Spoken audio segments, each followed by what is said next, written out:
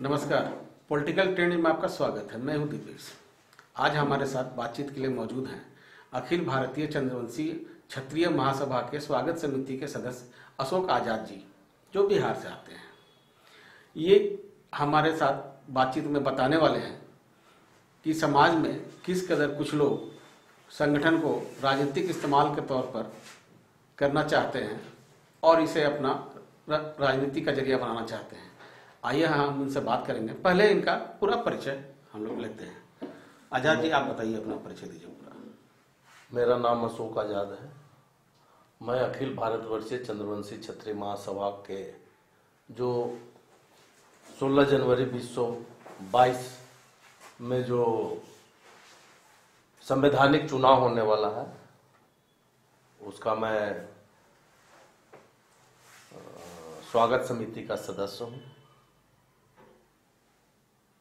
और अखिल भारतवर्षीय चंद्रवंशी छत्री महासभा का लाइफ मेंबर आजीवन सदस्य। ये जो चुनाव होने वाला है जी। इसको लेकर के क्या विवाद पनप रहे हैं जो आप हमको बताना चाहेंगे? आपके जानकारी हेतु मैं पहले आपको बता दूँ कि ये हमारे समाज का संविधान है। जी। ठीक है? जो 1906 में स्थापित और 1912 का रजिस्टर्ड संस्थान है 1912 1912 से लेकर 2007 तक, ये अपने कानून के तहत ये महासभा चलता रहा। इसका कार्यकाल पहले एक साल था, उसके बाद इसको बढ़ा के दो साल किया गया। जिनका जिनका कार्यकाल आया, अपना अपना कार्यकाल किया। इससे पहले बहुत लोग अध्यक्ष बने। इसके भूतपूर्व अध्यक्ष जितने लोग थे, जो ये लाइव है, उन्होंने 17 जनवरी 2021 को जरासंध भवन दरोगा राय पथ में एक आम सभा किया। और उसमें उन्होंने अखिल भारतवर्षीय चंद्रवंशी छत्री महासभा को सुचारू रूप से चलाने के लिए, इसका चुनाव कराने के लिए चुनाव आयोग का गठन किया। साथ में चुनाव आयोग आयोग का मैंने पदभार भी दिया गया। उसके बाद एक मिलत समिति एक एकीकरण समिति इस बीच बहुत काम किया कि लोग एक जगह आ जाए।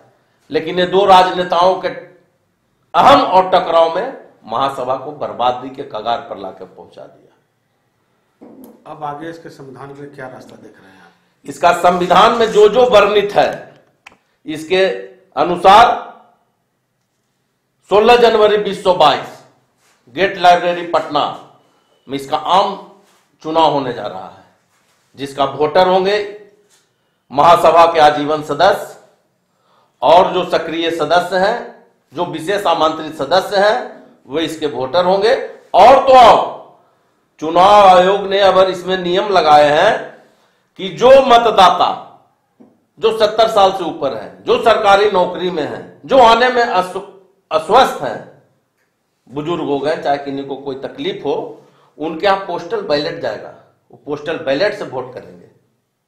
और नया अध्यक्ष, और नया महामंत्री, नया युवा अध्यक्ष, नया युवा महामंत्री, नया राष्ट्रीय महिला अध्यक्ष, नया राष्ट्रीय महिला महामंत्री का चुनाव होगा। साथ साथ बिहार प्रदेश का भी चुनाव होगा। हमारा ये न्यूज़ बुलेटिन आपको कैसा लगा हमें ज़रूर बताएँ। देखते रहिए पॉलिटिकल ट्रेंड्स धन्यवाद।